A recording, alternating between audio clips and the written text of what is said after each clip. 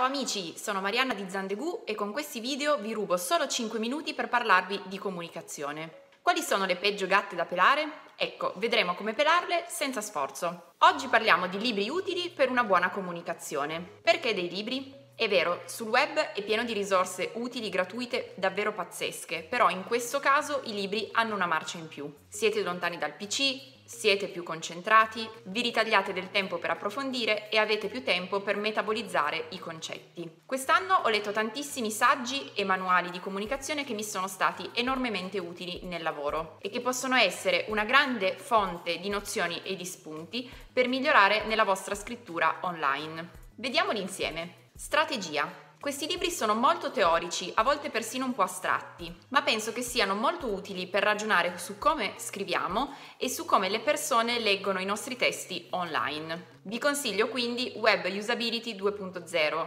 di Jakob Nielsen e Oa Loranger. Sono i guru dell'usabilità online. Gli utenti come usano il web e come possiamo quindi soddisfarli? Come si può strutturare una navigazione e un'architettura delle informazioni progettate per facilitare la vita al nostro cliente? Le persone come leggono online? Come scrivere testi utili? Come disporre i contenuti e presentare i prodotti?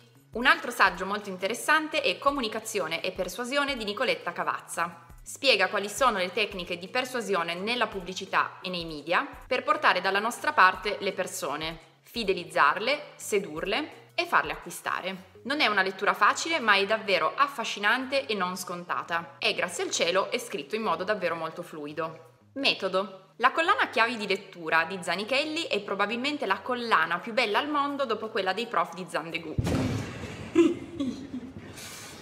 Che risata spontanea.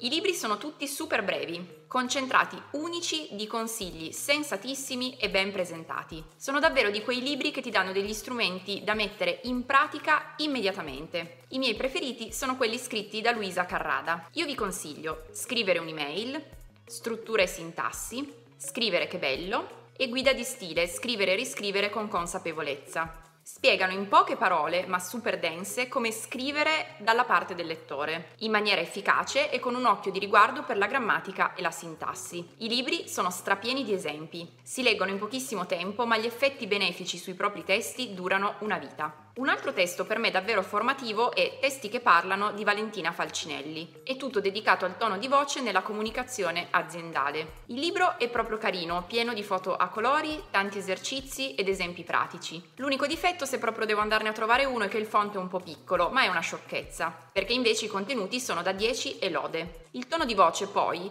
è la gatta da pelare per eccellenza quando si scrive per lavoro e qua ogni dubbio è sciolto. Ispirazione. Ragionare sulla scrittura può anche essere un ottimo modo per rispolverare dei grandi classici, che emozionano, incantano, ispirano. Per esempio potreste rileggere le lezioni americane di Italo Calvino, sei lezioni che Calvino aveva preparato per l'Università di Harvard nel 1985 e mai tenute. La più famosa è quella sulla leggerezza, che è così bella da essere a tratti commovente. Le altre lezioni sono su rapidità, esattezza, visibilità, molteplicità e coerenza. Se scrivete per lavoro non potete non averle lette. Una fonte di meraviglia continua e anche un bel modo per ragionare sul fatto che le parole sono un fantastico terreno di gioco sono le favole al telefono di Gianni Rodari. Io vivo nel culto di Gianni Rodari, penso che sia un genio. Le favole sono sì per bambini, ma noi adulti ne restiamo comunque incantati, per la delicatezza delle trame, per le trovate buffe e per l'incredibile utilizzo delle parole. Leggetene una ogni sera e nutrirete così il vostro bambino interiore. È importante che questo bambino sia sempre bello grassoccio, se vogliamo scrivere ogni giorno testi che convincono ed emozionano. In ebook. Vi consiglio anche tre ebook pubblicati da Zandegu che in questi anni ho riletto più volte perché sono un grandissimo concentrato di concretezza e buonsenso. Sono Scrivi più bianco di Chiara Gandolfi, Di cosa scriviamo quando scriviamo per lavoro e Scrivere email, costruire relazioni. Questi ultimi due sono entrambi di Anna Maria Anelli. Scrivi più bianco vi dà tutte le basi per addentrarvi nel magico mondo del copywriting e tantissime indicazioni per scrivere testi brillanti che si distinguono dalla massa. Di cosa scriviamo quando scriviamo per lavoro invece vi dà delle indicazioni per scrivere al meglio le pagine Chi siamo e le sales page, in modo che queste informino, chiariscano e colpiscano. Una cosa non facile e che Anna Maria spiega benissimo. Scrivere email, costruire relazioni, invece, dà preziose indicazioni su come scrivere al meglio le email, in modo da aiutarci a costruire dei rapporti di lavoro sereni e duraturi, con clienti e collaboratori. Bene, siamo giunti alla fine di questo video. Spero vi sia stato utile per ampliare la vostra biblioteca e allargare i vostri orizzonti in fatto di scrittura per lavoro. Se questo contenuto vi è piaciuto, seguiteci qui su Instagram oppure iscrivetevi alla nostra newsletter. Zandegu e corsi in aula e online di comunicazione, grafica e scrittura, manuali per freelance